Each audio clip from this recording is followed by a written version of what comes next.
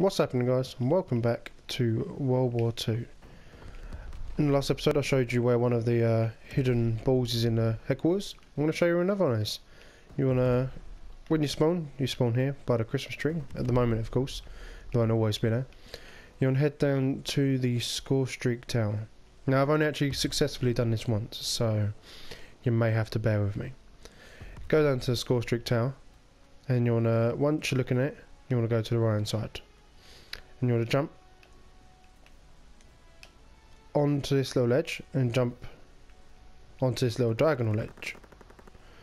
Then you want to walk up the ledge and you want to jump across that black hook. I missed it. Fuck. We'll try again. I can't even get up on this bit now. There we go. Right, up up again. And you want to very slowly walk up this diagonal bit. And jump. There we go I'm on it. And now you want to edge yourself round very carefully. And now you want to jump up to this next diagonal bit. Like so. And edge backwards slightly and there's another black hook. Jump on the black hook and jump up.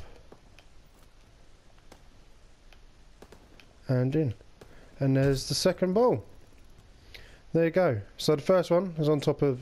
Fuck off that lamp. The uh, headquarters main building there. This one is in here. And there you go. Jump down. Obviously you can't just climb up the ladder normally. Because if you press square, you'll uh, practice your score streaks out there. So hello Mr. Paul.